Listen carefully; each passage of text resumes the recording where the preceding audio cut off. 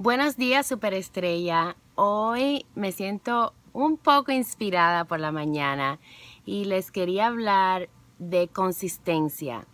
Muchos de ustedes empiezan el negocio con mucho auge, mucho entusiasmo, después se desgastan la próxima semana, trabajan un día completo con tanto entusiasmo y después se desgastan la próxima semana. Después pasa algo en su vida que quizás no les agrada y se vuelven a desanimar.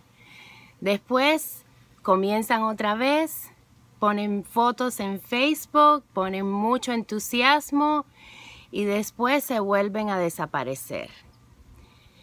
Les pido que miren su trabajo, miren su lucha, miren lo que están haciendo y si ese es el caso suyo, no le eche la culpa al negocio de que no funciona.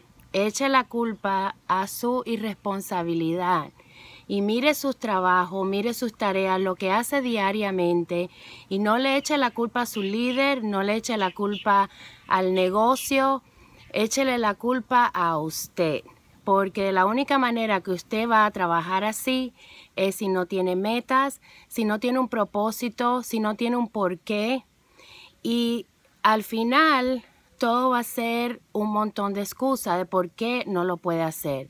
Porque mi líder no me apoya, porque mi líder no está fuera conmigo, porque eh, mi manager se fue, ya no está con Avon, porque mi esposo no me eh, apoya, porque tengo mucho trabajo, porque no tengo tiempo, porque los niños me quitan tiempo.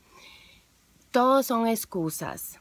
Así que les doy este video, les estoy dando este video para que coja fuerza de donde no las tiene. Porque usted sí puede, usted sí puede lograr lo mismo que muchas personas están logrando y muchas personas han logrado.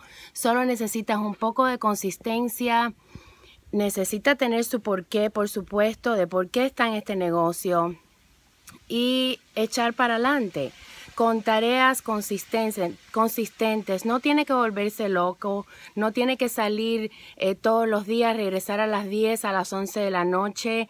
Solamente una pequeña actividad, hágase un horario. Si es una hora que usted tiene para su negocio de abón, dedíquele esa hora. Y por favor, no le eche más la culpa a todo el mundo porque su negocio de Avon no le está funcionando. Espero que este video le inspire y que lo pueda compartir con todo su grupo y nos vemos en Las Vegas. Bye.